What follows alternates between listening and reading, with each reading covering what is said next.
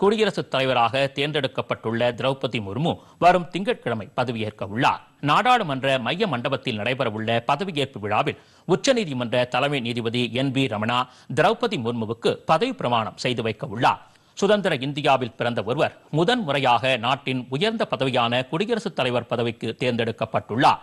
அறுபத்து நான்கு வயதாகும் திரௌபதி முர்மு குறைந்த வயதில் நாட்டின் குடியரசுத் தலைவராக தேர்ந்தெடுக்கப்பட்டவர் என்ற பெருமையையும் பெற்றுள்ளார். ஆயிரத்தி தொன்னூற்று தொன்னூற்றி ஏழாம் ஆண்டு ராய்ரங்பூர் பகுதியில் கவுன்சிலராக தேர்ந்தெடுக்கப்பட்ட அவர் பின்பு அதே பகுதியின் சட்டமன்ற உறுப்பினராகவும் தேர்ந்தெடுக்கப்பட்டார்.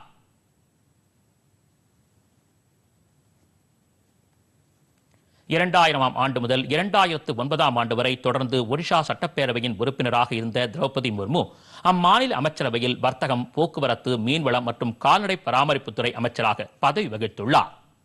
இரண்டாயிரத்து பதினைந்தாம் ஆண்டு ஜார்க்கண்ட் ஆளுநராக பதவியேற்ற அவர் கடந்த ஆண்டு வரை அப்பதவியில் நீடித்தார் என்பது குறிப்பிடத்தக்கது.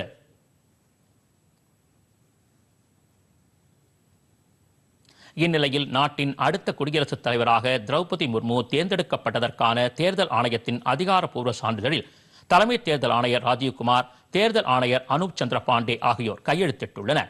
இதனையடுத்து குடியரசுத் தலைவர் தேர்தல் பணிகள் நிறைவடைந்தன.